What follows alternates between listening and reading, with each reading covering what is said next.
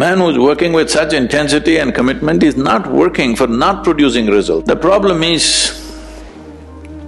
you heard what Krishna said through the words of a king's servant. Whatever you wish to do in your life, you have goals. Whether it's art, music, spirituality, politics, business, you think you will do anything significant. That's all he's saying.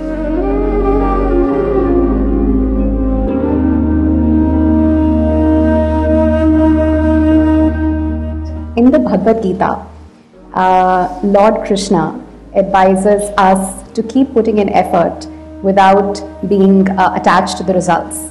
But I find it incredibly hard to keep working and not obsess over the results.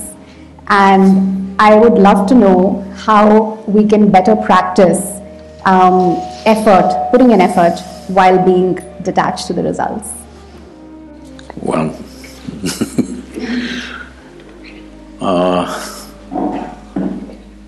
I am not uh, in any way well studied about any scripture. It's unfortunate, but I have to say I have not even read the Gita. but we know the life of uh, Krishna, that uh, People think Krishna means uh, butter, girls and flute. But you need to understand this. All these things happened only till he was sixteen years of age.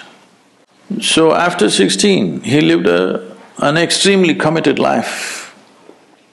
His commitment was to marry the political process of the day with the spiritual process because he saw unless those who wield power are essentially in their experience have a larger sense of life and an inclusive sense of identity, not my family, my children, my husband, my wife, this stuff, you have a larger sense of identity, only then you must wield power. Otherwise, it will lead to corruption. People say, power is corruption. Power is not corruption. Limited identity is corruption. They believe they're doing the right things and they're doing the horrible things all the time because their identity is so small. So he was trying to change this. This was his whole life's mission. And always working for results. Hello? A man who's working with such intensity and commitment is not working for not producing results. Obviously, he's working for results. The problem is, you heard what Krishna said through the words of a king's servant. Nobody else told you. He only spoke to Arjuna. Arjuna never spoke. He lived for thirty-six years after that incident, but he never uttered one word what Krishna told him. Have you heard anywhere? He ruled as a king, but never once he said, Krishna told me this on the battlefield, not once. So everything that you have heard is only from Sanjaya, who was a king's servant. You must understand the quality of a king's servant, he's very reliable. See if you… Uh, let's say, if your husband or wife or children they saw something, they come and tell you, they will add a little bit of their own stuff and tell you. It's… it is intrinsic to a human being. Their own opinions, ideas, other things will naturally get into what they're speaking. But a king's servant is trained never to add his opinion, otherwise his head will go. He will only interpret everything word by word as it was. So he is a kind of a ancient tape recorder, okay? He's recording and just telling the king, this is what he is saying. But there's no context. What is shared between two people where there's a very deep relationship,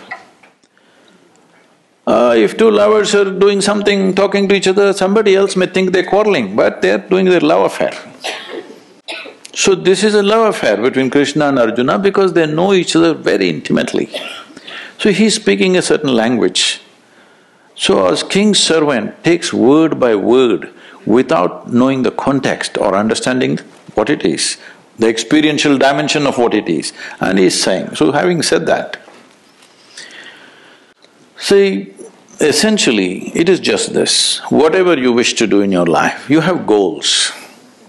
What kind of goal will you set up? Right now you're in the university. What kind of goal will you set up? What you already know, you will exaggerate that a little bit and think it's a big goal in your life. Generally, people call this an ambition, I call this a constipation. because you're trying to handle life little by little, just like constipation. if you have a goal, your goal cannot be something absolutely new, it is only an exaggeration of what you already know, yes or no? Can you think of a goal that you simply don't know? How is it even possible?